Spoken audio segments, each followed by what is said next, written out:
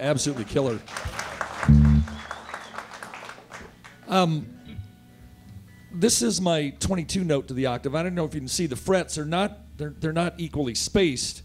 Uh, in Western music, the notes are it's what we call equal temperament. All the notes are the same. Well, this one's a little different.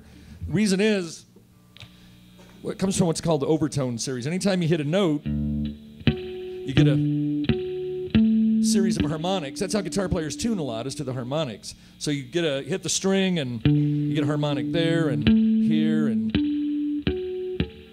and they really go to infinity. And uh, it's it's quite a study to study that. It, it's many lifetimes, and I'm I'm kind of a beginner at it. But I was able to come up with this tuning. Uh, 16 of the notes are between the 16th and 32nd harmonics with, with an added six that I needed in there. So, yeah.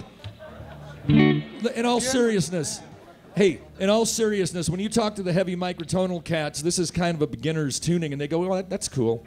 That's got some nice notes in it. I, I have a friend in New York that has 64 notes in two octaves, I think, Jon Catler. So the thing is, all these are resonating perfectly with the with the overtones. It's very cool. And the piece I'm going to play, I don't have a name. It's it's using kind of like a pentatonic scale, uh, and you can also get kind of out there. A 13th harmonic. So I'm not, I haven't written anything for that yet, but I will. So I brought my little orchestra along, which I almost forgot. I got four blocks away from home and went, oh my God, so I had to go get it. Without this, I'd be dead.